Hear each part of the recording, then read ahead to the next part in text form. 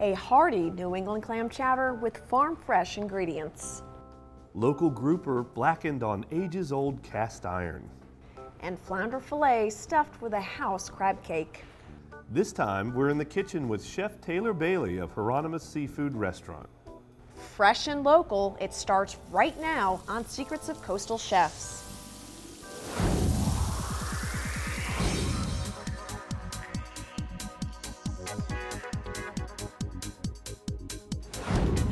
Hello, and welcome to another edition of Secrets of Coastal Chefs. I'm Sherry. And I'm Braxton. Today we're excited to be in one of Wilmington's most well-established restaurants, Hieronymus Seafood. Hieronymus first started in 1972 when Glenn Hieronymus and his brothers bought a commercial fishing boat. The restaurant opened in 1980 and has been a mainstay of fresh local seafood for locals and visitors alike. Today the kitchen is managed by this man, Chef Taylor Bailey, who has worked towards this dream job since he was a child. My first answer probably would have been when I was a child, a fire truck, and then when I realized that wasn't, you know, an option, then uh, cooking was next in line. It's pretty much the only job I've ever had. I've tried a couple different things and was really frustrated, but um, I find a lot of rhythm and harmony with food and cooking, and um, it, it really touches home with me, and there's a lot of emotion and expression in it. So it brings me a lot of joy in those aspects. Much of Chef Bailey's success here at Hieronymus is resourcing local ingredients for his menu. Basically, what we're trying to resource mostly is local and seasonal, um, farm to the table.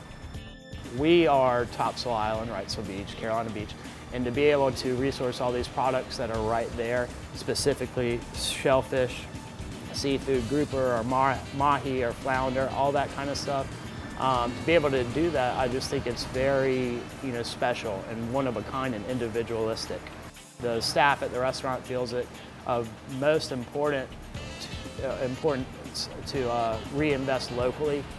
Um, even though, you know, the quality is always going to be better when you find those products that you're resourcing locally. Sometimes the price is a little bit more expensive, but that's just kind of the bullet that you have to bite on that one. When you resource those things guaranteed higher quality.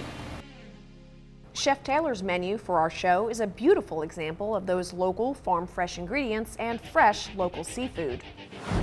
I'm going to do a New England style clam chowder and it's going to be, it's based New England style but um, I'm going to deviate a little bit with textures.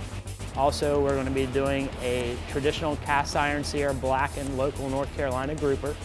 The best thing about our blackening is, like I was mentioning, it's uh, traditional, it's cast iron, so you taste the seasoning of the cast iron. Those cast irons have been here since I started, and I guarantee you they've been here for probably 10 or 15 years before I started working here. Stone ground grits with a lobster cream sauce. We're going to do a sauteed arugula, mushroom, and carrot salad with it. A little bit of garlic, butter, white wine. Definitely my favorite thing to eat here, hands down. Last but not least, we're going to do a crab stuffed flounder um, with our own Hieronymus crab cake. And flounder is going to be resourced locally. I actually brought some whole flounder in from Green Loop Seafood. Spread it with some lemon, top it with that same house lobster cream that we're going to be topping the grits with. We're going to do a local saute of zucchini, squash, carrot, and red onion. So I'm really excited to cook for you guys today. And we are very excited to be here. Now let's join Chef Taylor as he starts on his New England clam chowder.